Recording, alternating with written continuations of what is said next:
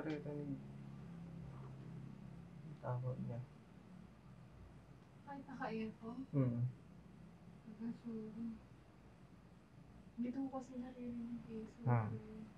wala na, pinahilin ko na siya.